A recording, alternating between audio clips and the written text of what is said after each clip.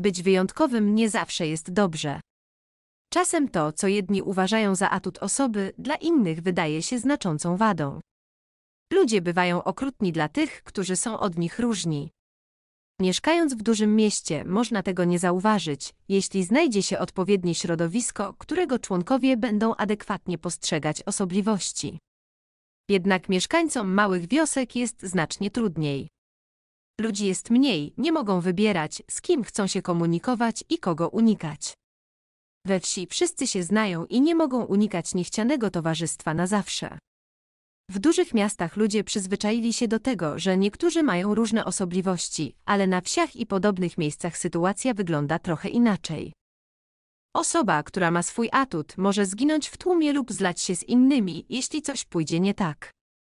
Jest to znacznie trudniejsze, gdy żyje się w miejscu, gdzie wszyscy dobrze się znają. Nikt nawet nie musi się przyglądać przechodniowi, aby zauważyć, że coś jest nie tak. Milana przyzwyczaiła się do tego, że ludzie wskazują na nią palcem.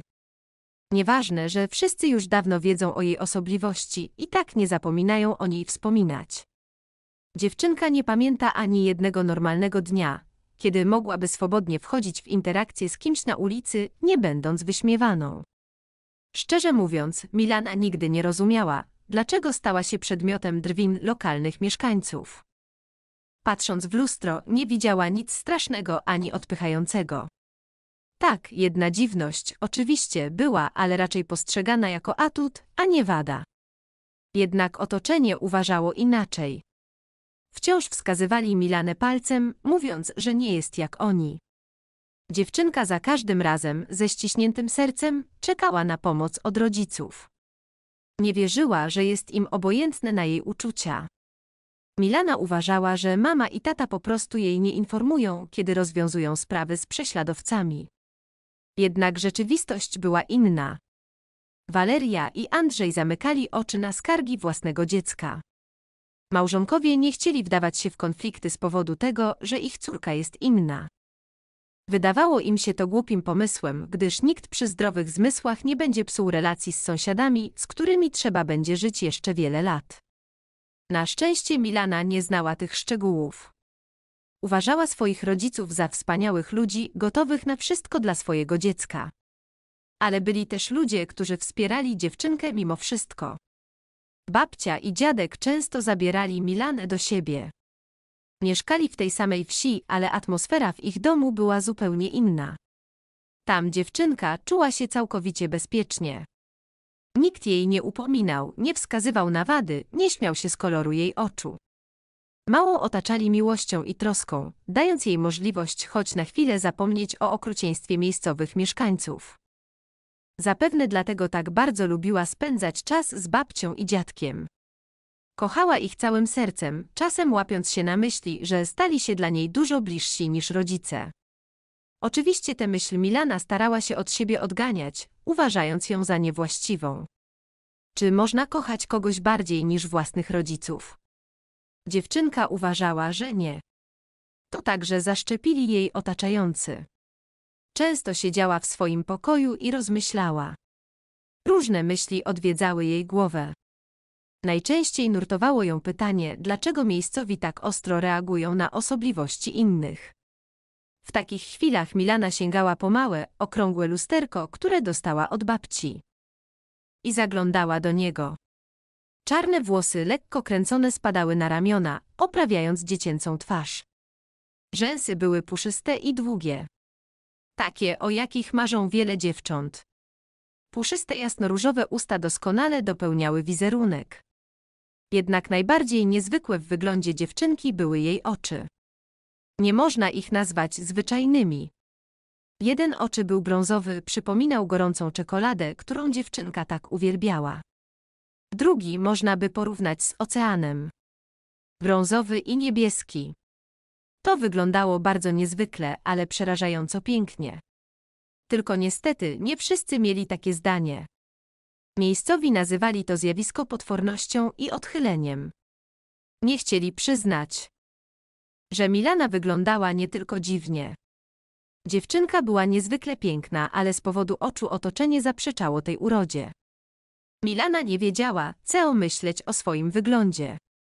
Najczęściej uważała się za atrakcyjną, ale wystarczyło wyjść z domu i spotkać nie tych ludzi, a to uczucie opuszczało ją na długo. Wtedy Milana uciekała do babci i dziadka, mając nadzieję znaleźć u nich pocieszenie i co niezwykłe, znajdowała. Dlaczego oni tak się ze mną obchodzą, babciu, jestem taka brzydka, ze łzami pytała dziewczynka. Emerytka troskliwie wycierała łzę dłonią i z ciepłem patrzyła na wnuczkę. Jesteś najpiękniejszą dziewczynką na całym białym świecie. Nie zwracaj uwagi na nich, oni po prostu nic nie rozumieją. A może mają rację, jeśli to my się mylimy? Niedziecinnym głosem wypowiedziała Milana. To wszystko bzdury, ci ludzie są po prostu ograniczeni i zazdrośni. Dziadek usiadł obok wnuczki i pogładził ją po głowie. A dlaczego wtedy mama i tata mówią mi, że to moja wina? Małżonkowie spojrzeli na siebie, nie mogli uwierzyć, że ich córka tak lekceważąco odnosi się do dziecka. Twoi rodzice się mylą. Nigdy nie słuchaj ludzi, którzy mówią ci, że nie jesteś wystarczająco piękna lub mądra. Nigdy. Emeryt pocałował dziewczynkę w czoło. A co będzie, gdy zacznie się szkoła? Myślę, że nikt ze mną nie będzie się zadawał. Chciałabym mieć przyjaciół. Wszystko będzie dobrze. Jestem pewna, że trafisz na świetnych kolegów w klasie. Nie sposób się z tobą nie zaprzyjaźnić. Jesteś przecież dobra i przyjacielska. Dziewczynka nieco się uspokoiła. Słowa babci i dziadka pomogły się zrelaksować i przestać bać się przyszłości. Najbardziej przerażało Milanę to, że po zakończeniu lata przyjdzie iść do pierwszej klasy. Tylko miłość i troska bliskich ludzi pomagały czuć się naprawdę odważną. Rozpoczęła się szkoła. Pomimo zdenerwowania, Milana i tak oczekiwała pierwszego dnia nauki. Była ciekawskim dzieckiem, jak gąbka chłonęła nową wiedzę. Wydawało się jej, że czas szkolny będzie najlepszy. Bo tak mówili o nim wszyscy dorośli, z którymi dziewczynka rozmawiała. Jednak pierwszy dzień okazał się okropny. Nauczycielka klas początkowych, która została wychowawczynią Milan, posadziła dziewczynkę za drugą ławkę środkowego rzędu. Obok niej siedział jasnowłosy chłopiec, który na początku wydawał się przyjazny.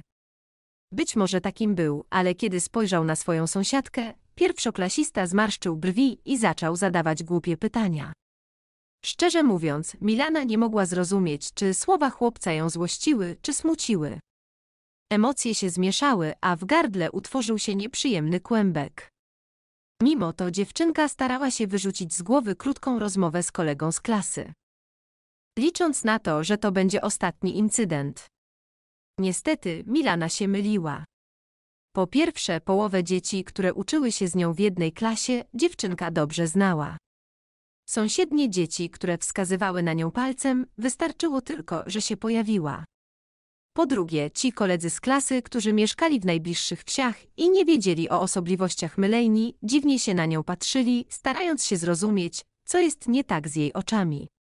To wszystko mocno wpływało na Milanę, ale starała się trzymać nerwy na wodzy, aby nie wydawać się słaba i nie przyciągać jeszcze więcej niepotrzebnej uwagi. Nauczycielka starała się nie okazywać swojego stosunku do oczu różnych kolorów u uczennicy. Ale czasami nie mogła się powstrzymać i mówiła coś tak nieprzyjemnego, że Milanie od razu chciało się iść do domu. Lubiła się uczyć. Dziewczynka naprawdę chciała poznawać wszystko, czego wymaga system edukacji szkolnej, ale nie mogła się normalnie skoncentrować. Ciągle wydawało jej się, że na nią patrzą. Co ukrywać, najczęściej tak właśnie było. Babcia i dziadek martwili się o wnuczkę. Zaczęła rzadziej do nich zaglądać, bo nie chciała, żeby się martwili. Jednak pan Dmitrij i pani Olga nie byli głupi. Emeryci doskonale rozumieli, co dzieje się z dzieckiem. Było im boleśnie patrzeć, jak cierpi wnuczka. Ale niestety nie byli w stanie tego naprawić. Starali się wpłynąć na rodziców dziewczynki, wiedząc, że potrzebuje ich wsparcia. Jednak im, szczerze mówiąc, było to obojętne. Mieli inne priorytety. Milana wracała do domu w okropnym nastroju. Spędzała godziny przed lustrem, przyglądając się swojej twarzy. Tak bardzo chciała, aby jej oczy się zmieniły, stały się najzwyklejsze. Nie chciała przyciągać czyjejś uwagi, w ogóle. Milana z zazdrością patrzyła na otaczających ludzi, których oczy niczym się nie różniły od wielu innych. Mamo, dlaczego mam różne kolory oczu? Dlaczego u was z tatą wszystko w porządku, a u mnie nie? W rozpaczy pytała dziewczynka swojej matki. Kobieta zmęczonym wzrokiem spojrzała na dziecko i przewróciła swoimi oczy pomalowanymi czarną kredką. Spoglądając na ich zielony odcień, Milana pomyślała, że z takimi wyglądałoby o wiele lepiej. Nie masz już dość zadawania mi głupich pytań? Szczerze mówiąc, już boli mnie od tego głowa. Idź do swojego pokoju, proszę, nie rozpraszaj mnie, agresywnie wypowiedziała mama. Przepraszam, nie chciałam cię denerwować, ale dzisiaj Wadim nazwał mnie potworkiem, powiedział, że to przez moje oczy. Też uważasz, że jestem potworkiem. Dziewczynka zacisnęła dolną wargę. Kobieta gniewnie spojrzała na córkę. Już kilka razy ci mówiłam, nie żądawaj głupich pytań. Robisz sobie żarty czy ceo. Już nie wiem, co ci powiedzieć, żeby do ciebie w końcu dotarło. Ile można być upierdliwym? Chcesz, żeby ktoś cię pożałował. Idź do babci i dziadka, oni na pewno nazwą cię najpiękniejszą, byleś tylko przestała narzekać, wybuchła Waleria. Milana poczuła się jeszcze gorzej niż wcześniej. Mama często pozwalała sobie na podobne wypowiedzi w jej kierunku, ale dzisiaj była wyjątkowo agresywna. Wcześniej wszystkie wymienione uwagi były wypowiadane w bardziej spokojnym tonie, nie przechodząc do krzyków. Dziewczynka otarła łzy, które spływały strumieniem po policzkach, wstała i poszła do swojego pokoju, nie zapominając wcześniej przeprosić. Wydawało jej się, że zrobiła coś złego, zdenerwowała mamę, która prosiła tylko o ciszę. Siedząc w swoim pokoju, Milana myślała o przyszłości. Chciała wierzyć, że wkrótce wszystko się zmieni. Babcia i dziadek zawsze mówili, że dzieci często bywają złe i okrutne w początkowych i średnich klasach, ale nie można tracić wiary w lepsze jutro. Tego zdania była także Milana, chociaż czasami było to trudne. Miała nadzieję, że w starszych klasach koledzy z klasy zmądrzeją i staną się bardziej przyjaźni. Po siedzeniu przez chwilę w swoim pokoju, dziewczynka przebrała się w ubranie uliczne i udała się do babci i dziadka. Chciała poczuć się potrzebna i ważna, a mogła to osiągnąć tylko tam. Na szczęście dom był bardzo blisko, więc nie musiała iść długo. Krewni przywitali małą ciepło, zrobili gorącą czekoladę, nakarmili naleśnikami z malinowym dżemem. Mimo, że jeszcze godzinę temu nastrój Mylejni był okropny, teraz czuła się naprawdę szczęśliwa. Dziadek opowiadał historie ze swojego życia, od których dziewczynka śmiała się bez końca. Babcia próbowała nauczyć ją robić na drutach, ale wychodziło to wątpliwie, za każdym razem Milana coś robiła nie tak. Jednak staruszka nie złościła się na nią, wręcz przeciwnie, uważała to za zabawne. Zazwyczaj w takie dni dziadek odprowadzał wnuczkę do domu około dziewiątej. Rodzice nigdy na to nie narzekali. Bywało nawet, że nie zwracali uwagi, że córki nie było w domu do określonej godziny. Przez całą szkołę podstawową Milana płakała. Nie było dnia, aby ktoś nie uraził jej z powodu różnych oczu. Wydawało się, że otoczenie nie ma innych tematów do rozmów. Dziewczynka próbowała zaprzyjaźnić się z kimś, ale wychodziło to źle. Koledzy z klasy, jeśli zaczynali z nią rozmawiać, to tylko po to, by się z niej naśmiewać. Niektórzy uważali to za zabawne zdobyć pełne zaufanie i zdeptać je na oczach wszystkich. Z czasem Milana nawet przyzwyczaiła się do tego, ale nie przestawała być smutna. Babcia opowiadała jej historię o swojej najlepszej przyjaciółce, z którą zaprzyjaźniła się w pierwszej klasie. Słuchając tych historii, dziewczynka zdawała sobie sprawę, że jej się to nie przydarzy, bo nikt nie ma ochoty z nią rozmawiać. To bardzo ją zasmucało. Jednak nie przestawała mieć nadziei, że w średnich lub starszych klasach wszystko się w końcu zmieni. Ludziom po prostu znudzi się dyskutowanie o jej oczach. Fakt, że koledzy z klasy i inni mieszkańcy miejscowości nie lubili jej tylko z powodu różnych kolorów oczu, zadziwiał dziewczynkę. Nie rozumiała, jak taka cecha może czynić kogoś złym. Milana uważała, że to głupie tak płytko patrzeć na świat, ale nie mogła tego wytłumaczyć swojemu otoczeniu. Ci ludzie nie potrzebowali słów małej dziewczynki. Uważali, że mają rację absolutnie we wszystkim. Jeśli ktoś na nich nie przypominał, to znaczy, że był błędem natury. Innej konkluzji w takiej sytuacji być nie mogło. Szczerze mówiąc, dorastając, Milana przekonała się, że babcia nie miała racji. Po prostu wierzenie w lepszą przyszłość nie jest takie łatwe, ponieważ otaczający ludzie odbierają chęć dążenia do swojego celu. Kiedy jesteś sam, trudno radzić sobie z ilością negatywu, z jakim musiała mierzyć się ona każdego dnia. Oczywiście miała babcię i dziadka, ale to było za mało. Chciała znaleźć prawdziwych przyjaciół, którzy zawsze byliby obok, przynajmniej jednego takiego przyjaciela. W starszych klasach sytuacja się nie zmieniła, dziewczyna wciąż była nielubiana przez otoczenie. Nazywana potworkiem i błędem natury. Milana starała się nie zwracać uwagi, ale to było trudne. Klasowi koledzy nawet nie chcieli siedzieć z nią przy jednej ławce. Czasami dziewczynie wydawało się, że nie będzie w stanie ukończyć nauki, mimo że do wstąpienia na uniwersytet pozostały tylko dwa lata. Jednak wkrótce wszystko się zmieniło. W połowie przedostatniej klasy do ich szkoły przeprowadził się chłopak. Maksym wcześniej mieszkał w mieście, ale jego ojcu zaproponowano dobry projekt na wsi, więc nie mógł odmówić. Młody człowiek wspierał rodziców, nie robił scen z powodu nagłej zmiany miejsca zamieszkania. Maksym trafił do klasy Mylejni. Wolnych miejsc było wiele.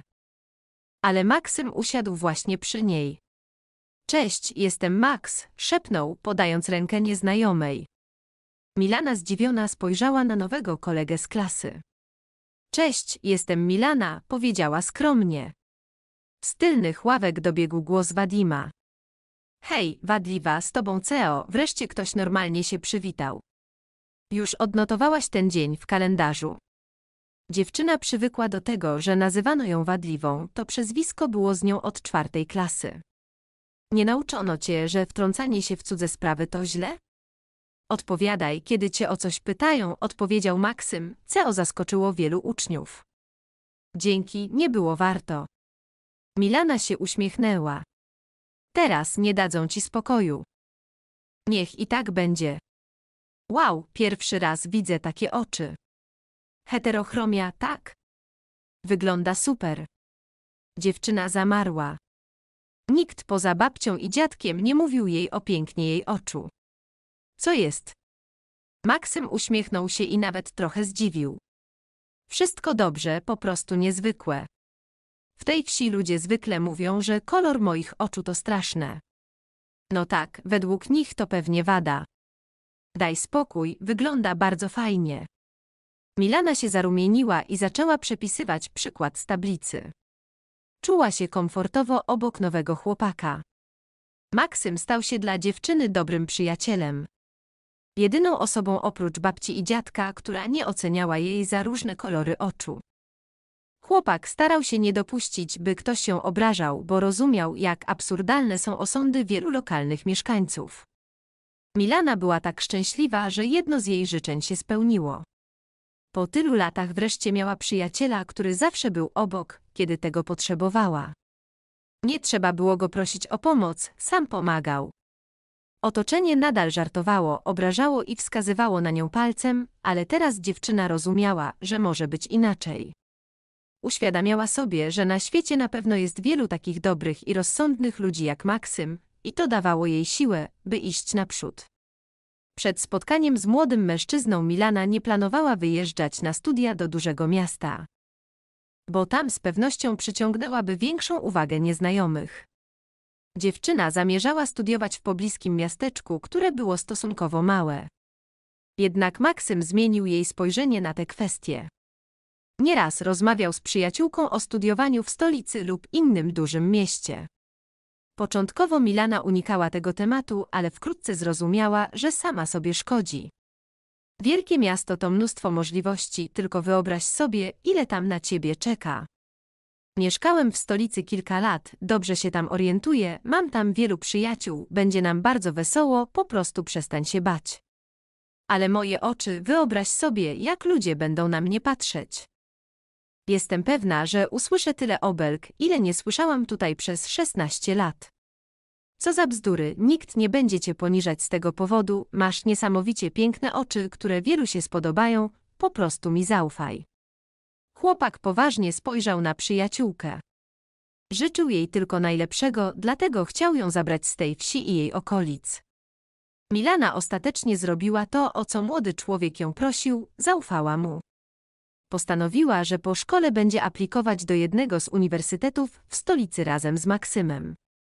I tak też się stało. Młodzi ludzie wyjechali na studia do stolicy.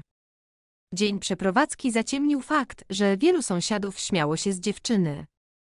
Byli pewni, że w stolicy Milana zda sobie sprawę ze swojej nieistotności.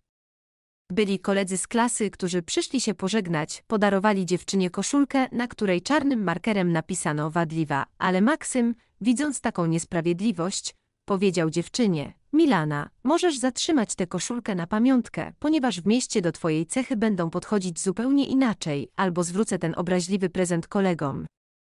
Nawet nie wypada go przyjmować. Nie przyjmę tego prezentu, odpowiedziała Milana, zostawiając torbę z koszulką na szkolnej ławce. Niech zostanie na pamiątkę naszej wiejskiej szkole, na pamiątkę głupoty i okrucieństwa. Też tak uważam, odpowiedział Maksym. Przygotowałem dla ciebie lepszy prezent. Spójrz. Wyjął pudełko, w którym była piękna tuż do rzęs i cienie. Była bardzo ładna i nie taka tania, jakich używały dziewczyny na wsi dla twoich uroczych oczu. A tu jeszcze flakon perfum, specjalnie dla ciebie dobierałem interesujący zapach, który będzie pasował do twojego wizerunku. Mam nadzieję, że ci się bardzo spodoba. Posłuchaj. Flakon był w jakimś kosmicznym pudełku z planetami. Milana powąchała zapach i zamarła. Był też jakimś lodowym, trochę czekoladowym, ale niesamowicie pięknym, delikatnym. O takim biedna wiejska dziewczyna nawet nie mogła marzyć. Bardzo ci dziękuję. Powiedziała do Maksyma. Zapach naprawdę pięknie pachnie, tak delikatnie, że nawet bym nie pomyślała. Wiesz, co mi przypomina jego charakter. Co? Zapytał Maksym. Noc, gwiaździste niebo, lato, dach bardzo wysokiego domu, z którego widać miasto jak na dłoni. Migoczą światła, a my huśtamy się na huśtawce, która jest umieszczona na dachu. Pamiętasz, jak w tamtym amerykańskim filmie? A obok mnie leży otwarta czekoladka z karmelem, tak przyjemna i delikatna, że dodaje słodyczy chłodnemu letniemu powietrzu. Huśtamy się, podziwiamy miasto, uśmiechamy się i marzymy. Piękny obraz, odpowiedział Maksym, a następnie delikatnie próbował pocałować Milanę. Ale wtedy ktoś wszedł do pokoju. Wyszli i poszli potańczyć na dyskotece. A już kilka dni później jechali do stolicy na pierwszy swój egzamin. Maksym i Milana zamieszkali u ciotki Marii, która była dobrą znajomą ojca Maksyma. Ta kobieta bardzo ucieszyła się na widok Maksyma i powiedziała: O, jak duży i przystojny się stałeś, wiejskie powietrze poszło ci na zdrowie, stałeś się zupełnie innym człowiekiem. Nawet nie do poznania, już młodzieniec, jak szybko lecą lata, to niesamowite. A to twoja dziewczyna. Może i przyszła dziewczyna, ale na razie za wcześnie, by o tym myśleć. Muszę się uczyć, stanąć na nogach. Jakie piękne ma oczy, odpowiedziała Maria która coś rozumiała w kobiecej urodzie. Nie bez powodu skończyła jedną z najlepszych szkół wizażu i pracowała w prestiżowym salonie piękności, który często odwiedzały nie tylko zamożne sto, ale i prawdziwe gwiazdy. Milana nieco zawstydziła się z powodu takiego komplementu, ponieważ na wsi wszyscy drwili z niej, nazywając ją wadliwą, więc w szczerość Marii po prostu nie uwierzyła. Ale trudno było oprzeć się uśmiechowi Marii, kobieta uśmiechała się szczerze i mówiła, o, nam w salonie akurat taka modelka potrzebna, do nauki moich dziewczyn będą ćwiczyć niezwykły makijaż, który będzie wyglądał bardzo pięknie, ciekawie. Ludzie z heterochromią są bardzo niezwykli. Często podobają się różnym fotografom. Są nawet światowi celebryci, którzy zyskali sławę na pokazach mody dzięki różnym oczom. Takie oczy to nie błąd natury, a bardzo rzadkie i niezwykłe zjawisko. Pomożesz naszym dziewczynom ćwiczyć makijaż. Dobrze ci zapłacimy. Oczywiście, odpowiedziała Milana. Napisz, kiedy będziesz wolna. Milana się uśmiechnęła, a Maksym cieszył się razem z nią. Powiedział do dziewczyny, widzisz, w twojej wsi wszyscy śmiali się z twoich pięknych oczu, a tu może nawet będziesz mogła sobie wybić drogę do wspaniałej przyszłości, więc nie wątp. Ale Milana nie wierzyła, po prostu nie przywykła do słuchania, że jest piękna. Ale wątpić w słowa ciotki Marii nie mogła. Kiedy młode wizerzystki patrzyły na nią z zachwytem, dyskutując, jaki makijaż będzie pasował do takiej piękności, Milana się uśmiechnęła. Maria nie oszukała jej, zapłacili jej bardzo dobrze za praktykę, a potem zapytała, pozwolisz, żeby moje dziewczyny sfotografowały swoją pracę. Oczywiście, odpowiedziała Milana. W takim razie zaczynajmy, już przygotowaliśmy aparat. A będę miała tę pracę. Oczywiście, jeśli chcesz, przynieś pendrive, wydrukujemy je dla ciebie lub po prostu wyślemy na media społecznościowe. Ale Milana nie założyła sobie konta na mediach społecznościowych, zbyt wiele drwin ją tam spotkało. Zbyt wiele cierpienia poczuła w tej samej szkole, która stała się głównym źródłem jej cierpień. Razem z Maksymem dostali się na uniwersytet i z zainteresowaniem zaczęli się uczyć. Milana najbardziej obawiała się kolektywu, chociaż praca u Marii dodała jej pewności siebie. Milana widziała, jak dziewczynom podobało się wymyślanie różnych wersji makijażu dla jej twarzy, a kiedy spojrzała na zdjęcia, po prostu westchnęła, tak, jest piękna. Po prostu na wsi nie sprzedają takich kosmetyków. Nie ma nic tak interesującego i niezwykłego jak tutaj. Ale strach, wychowany przez wiele szkolnych lat, pozostał w sercu. Dlatego Milana bardzo się obawiała, że i w mieście będą się z niej śmiać z powodu jej różnych oczu. Może uniwersytet to ta sama duża szkoła, tylko o wiele większa. Jak szkoda, jeśli w nieprzyjaznym kolektywie będzie trzeba spędzić jeszcze pięć lat. Dobrze, że jest Maksym, chociaż wątpliwe, by mógł przeciwstawić się tłumowi. Ale wbrew wszystkim oczekiwaniom, nikt się z Mylejni nie śmiał. Co więcej, jej niezwykły wygląd dziewczyny uważały za znak z góry.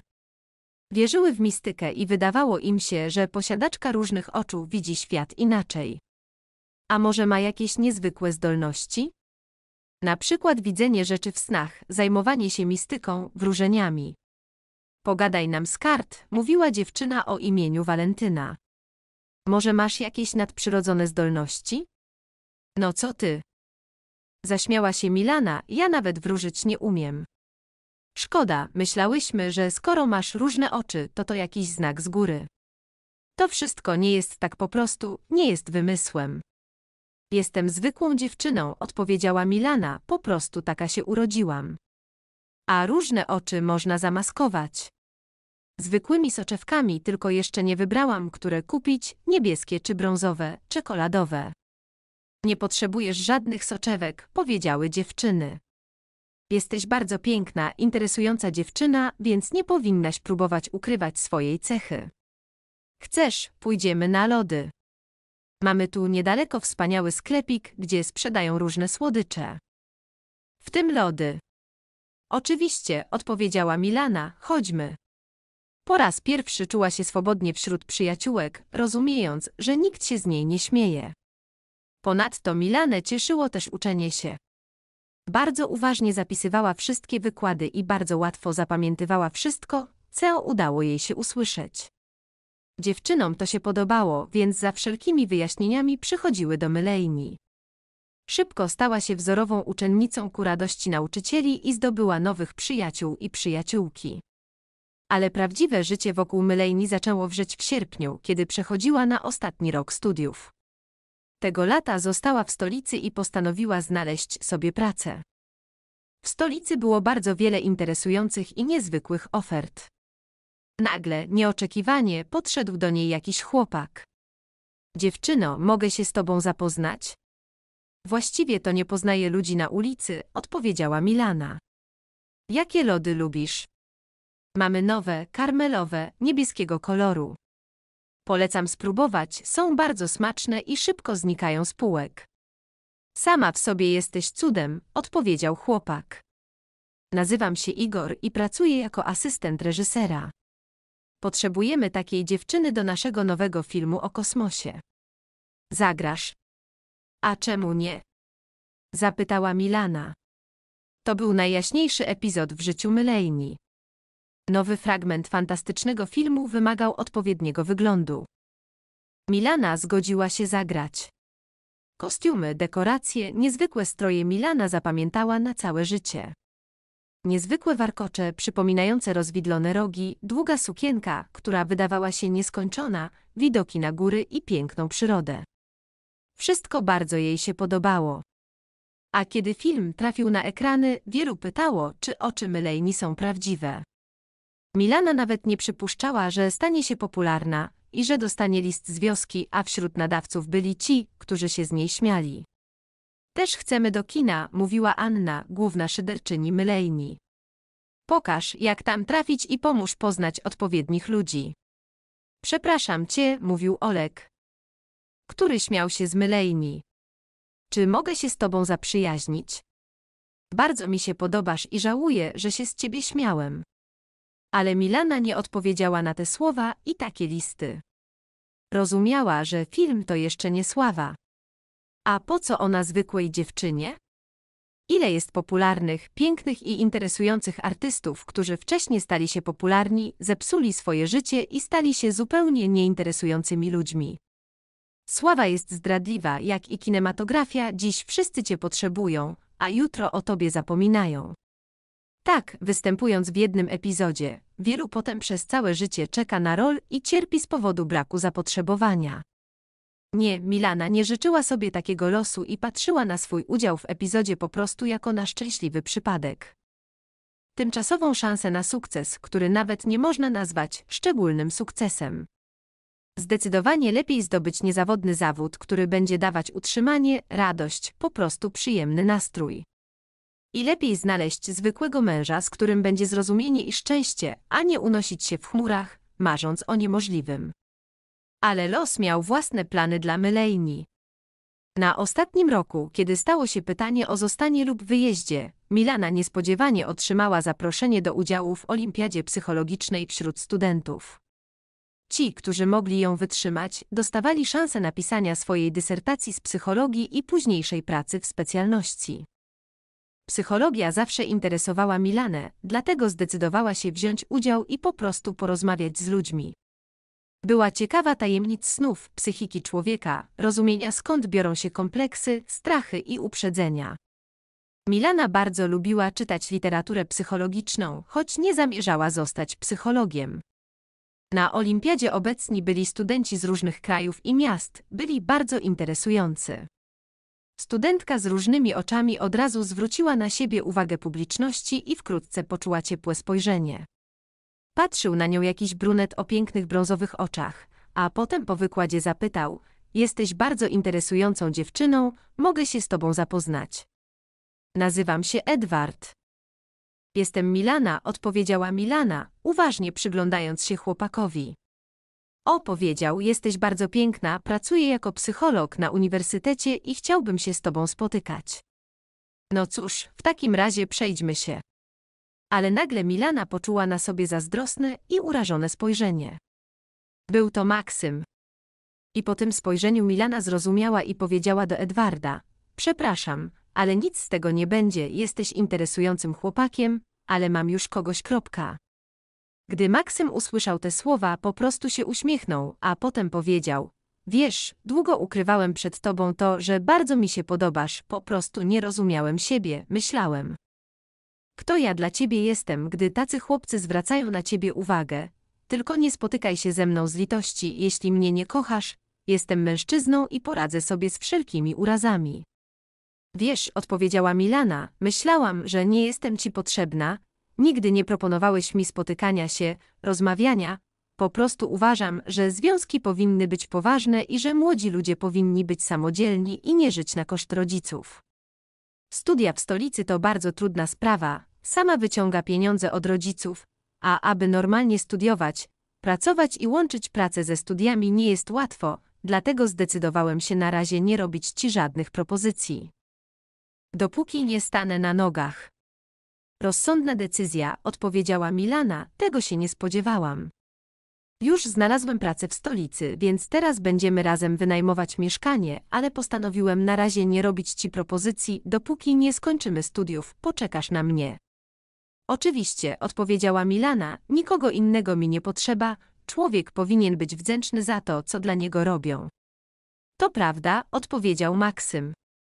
I Milana na długo zapamiętała ten bajeczny i delikatny pocałunek. Potem nastąpiła obrona pracy dyplomowej, praca, wspólne mieszkanie. Maksym pokazał Milanę swoim rodzicom jako swoją narzeczoną.